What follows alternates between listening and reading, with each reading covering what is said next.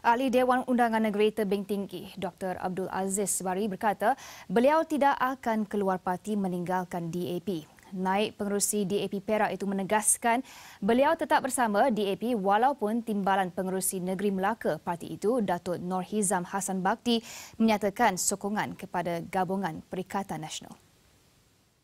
Tambahan pula katanya beliau bukanlah termasuk dalam kriteria yang mungkin dikehendaki oleh gabungan Pakatan Nasional. Tak ada, saya masih di sini. Dan saya tak fikir saya ni laku pun.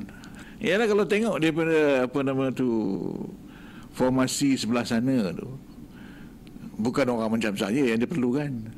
Jadi adalah masa kenduri tu orang lawak-lawak ajak tapi saya rasa itu lawak begitu tak ada apa pun. Tak ada siapa nak beli, tak ada siapa nak bincang, tak ada apa lah.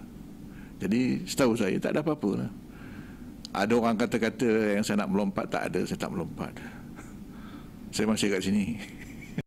Menurutnya, gabungan Pakatan Nasional mungkin memerlukan adun bukan Melayu bagi memegang portfolio yang sesuai seperti kebiasaan sebelum ini.